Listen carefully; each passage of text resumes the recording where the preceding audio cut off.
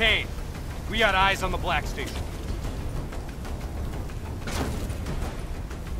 Okay. Let's find out what we're dealing with here.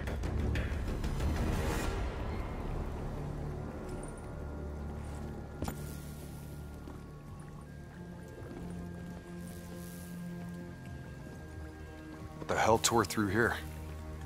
Something left in a hurry. Kane. Could be 54i grunt detonations. Yeah, maybe if the doors were blown in. But they're blown out.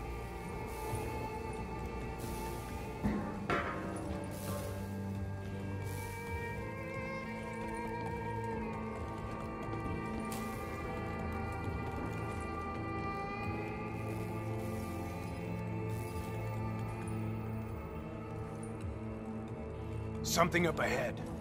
Get ready.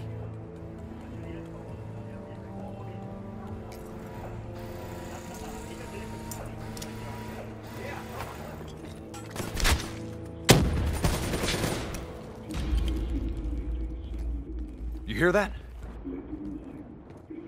There's someone in there. We need this door open now. Let's go.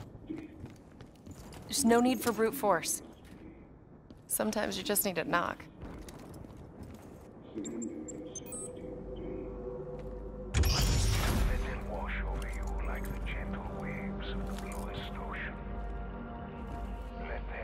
Holy fuck. Imagine somewhere calm.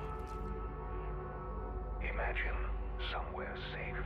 Turn that shit off. Imagine yourself in a frozen forest.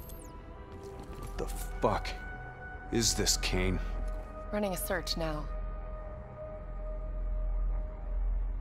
Denial of reincarnation. Perpetrated by Jay Zhang. 54 Immortals Enforcer. It was an execution method reserved for their worst enemies.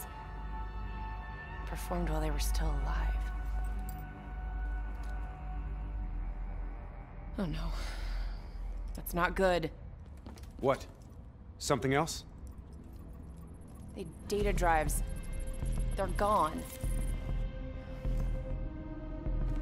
Surveillance footage, reports, debriefs, everything we came here to download and clear. Local hard copy of a CIA black site provides a daily sync with ongoing CIA global activity. If that gets out, It would compromise every CIA operation around the world.